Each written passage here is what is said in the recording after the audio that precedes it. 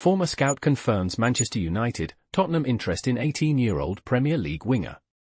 Former Manchester United, Aston Villa, and Tottenham scout Mick Brown confirmed big interest in Southampton's Tyler Dibbling. The 18-year-old winger has impressed this season, attracting attention from top clubs. Southampton's potential relegation could spark a bidding war, but they are keen to keep him. Manchester United and Tottenham are among the interested clubs, with United having a buyback clause.